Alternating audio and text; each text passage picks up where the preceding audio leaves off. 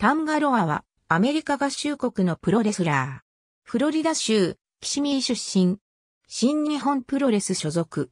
本名はテビタ・フィフィタ。キングハクはいとこであり義兄。ヒクレオは従弟であり義弟。新日本プロレスにおける兄、タマトンガとのタッグチーム、ゲリラズ・オブ・デスティニーで知られる。プロレスラーになる以前は、テキサス大学エルパソ校でアメリカンフットボール選手として活躍した。チーム 3D アカデミーでトレーニングを積み、卒業後はフロリダ州を拠点とするインディー団体である WXW を中心に活動。2008年11月より兄、アリペートとサンズ・オブ・トンガのある兄弟タッグチームを結成して手ビタは抜く。アリペートはカバのリングネームに変更して活動していたが、自身が WWE での入団テストを受けて合格したこともあり、兄との WXW での活動は短期間に終わった。FCW2009 年2月、WWE とディベロップメント契約を交わし、入団。傘下団体の FCW でトンガのリングネームでデビュー。同年3月にはエイブラハム・ワシントンを守る SP ギミックであるエージェント T となってコミック路線に移動。同年7月、リングネームをドニー・マーローへと変更して、タッグ戦線に復帰。ジミー・ウソジュレス・ウソのウソーズと組んで、サモアン・ソルジャーズというユニットを結成。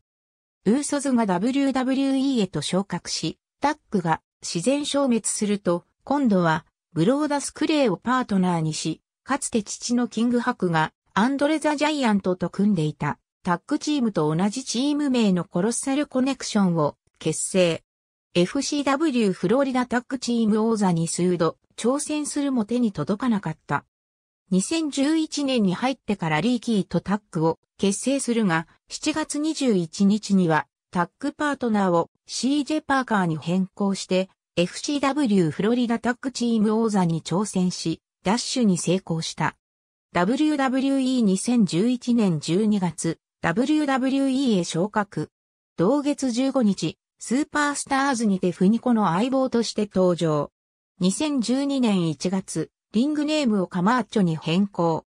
フニコとのタッグで活動するが、NXT やスーパースターズでの出場が主となり、6月にはフニコが負傷し欠場。以降、FCW と統合した NXT での出場が中心となって、エイデン・イングリッシュと組んでビッグ・E・ラングストンと長期抗争し、ハンディキャップマッチやラングストン VS イングリッシュのシングルマッチ中に介入して邪魔をするなどしたが、いずれも返り討ちにあって一度も勝つことができずに、抗争は終了した。2013年4月、レッスルマニアアクシスにて復帰した相棒のフニコとタッグを組んでエゼキエル・ジャクソン吉達と対戦するが敗戦した。10月24日、NXT のテーピングにて、テレビショーに復帰、フニコとのタッグでジアセンションから勝利した。2014年1月、フニコが新カラとして活動するようになってからは自身は NXT にてシングルプレイヤーへと転向。同年4月よりアダム・ローズと抗争を開始。4月28日、彼の信奉者の一人であるキャプテンコミックを襲撃し、5月8日にはキャプテンコミックが遺恨戦を要求してきたことから、試合を行い圧勝した。5月29日、NXT のテイクオーバーにて、アダム・ローズと因縁の対決を行うも敗戦した。2014年6月、WWE から退団することが発表された。WWE 解雇後、2014年11月8日に、古巣である WXW に凱旋。父であるキングハクリッキー・サンタナキューバン・アサシンと組んでプロフェシート8人タッグマッチを行い勝利した。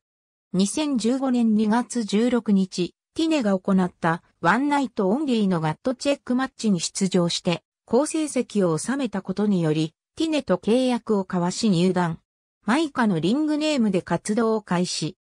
ドリュー・ギャロウェイが一人でビートダウンクランと構想を展開するが、数の多さに抵抗できないことから3月27日、リングを占拠するビートダウンクランに対しバックステージから登場して、マイクアピールにて、新たな仲間を連れてきたことを予告すると客席からイーライドレイクと共に現れ乱闘を行って追い払い、そしてトリオユニットであるライジングを結成。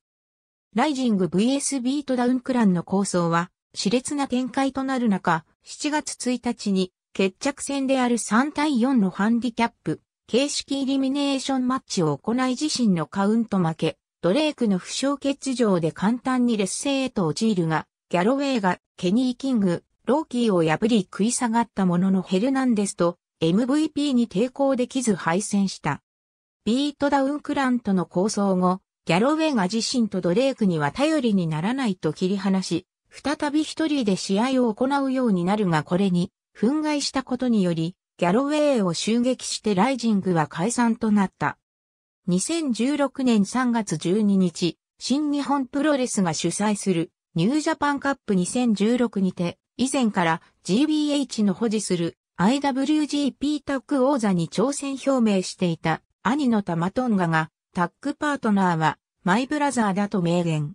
同月14日、リングネームをタンガロアへと変え、ゲリラズ・オブ・デスティニーと命名されたタッグチームで挑戦することを発表。バレットクラブの新たなメンバーとして加入を果たした。同月27日、 NJPW VS バレットクラブシングル5番勝負と銘打たれた試合で、タマと真壁が対戦。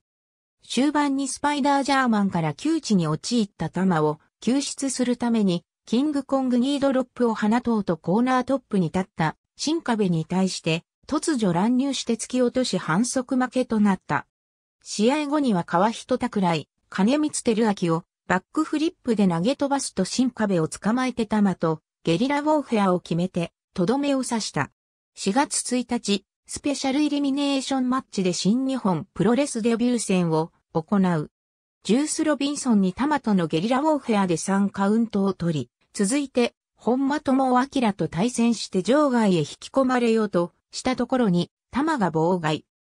直後にドロップキックで、本間を場外に落として、失格に追い込む。そして新壁と対戦。